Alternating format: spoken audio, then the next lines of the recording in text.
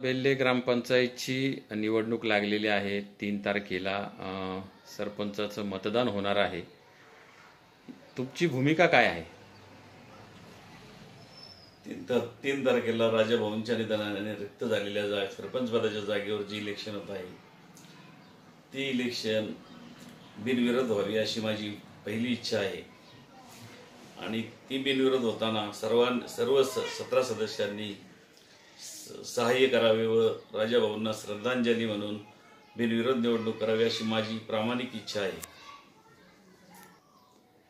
दादा जर निवडणुकीची वेळच आली तर मग काय आपली भूमिका आहे किंवा काय तयारी आहे? सर सांगायचं झालं तर राजाभाऊंच्या पॅनलचे नऊ लोक आहेत. विरोधकांचे पॅनलचे आठ लोक आहेत. सात अधिक तर यातून इले इलेक्शनची वेळ येऊ नये या कोरोनाच्या पार्श्वभूमीची माझी प्रामाणिक इच्छा आहे. परंतु जरी वेळ वेळ आली तरी राजाभाऊंच्या पॅनलचे असणारे सर्व सदस्य हे राजाभाऊंच्या विचाराने ठरलेल्या उमेदवारांनाच मतं देतील आणि ते उमेदवार निवडून येतील यात कोणतीही शंका नाही. राजाभाऊंच्या पॅनलचे जे लोक आहेत ते अतिशय विश्वासूपणाने राजू शेठ बरोबर कायम राहिलेले आहेत आणि यापुढेही ते राहतील. अशी माझी खात्री आहे. दादा आपण असं म्हणताय की विनिरोधी बिनविरोधी निवडणुकीचं तुम्ही आवाहन केलंय परंतु आत्ताची परिस्थिती अशी काही दिसत नाही आहे का निवडणूक बिनविरोध होईल? कारण समोरची पार्टी जी आहे ती काही सदस्य घेऊन बाहेरगावी गेलेली आहे. पण जर वेळ आलीच निवडणुकीची तर मग आपण त्या कुटुंबातीलही आहात त्या पॅनलचे प्रमुखही आहात तर त्यावेळेला तुमची भूमिका काय राहील? कारण राजाभाऊ हयात असताना त्यांनी अशा प्रकारच्या निवडणुक्या एक हाती जिंकल्या होत्या. आज राजाभाऊ नाहीत तर आपली भूमिका आणि आपण त्या पॅनलचे प्रमुख म्हणून काय कराल?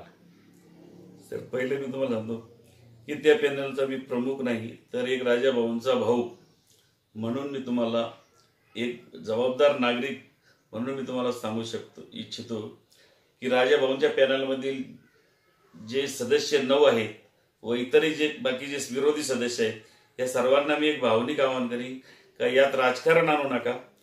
कारण गेलेला राजा भाऊ हा माझा भाऊ होता. आणि या याचं भांडवल न करता आपण सर्वांनी गावच्या विकासासाठी सर्वांनी एकत्र येऊन गावच्या विकासासाठी सर्वांनी बिनविरोध निवडणूक करावी असं मी आपणास भावनिक आवाहन करीत आहे.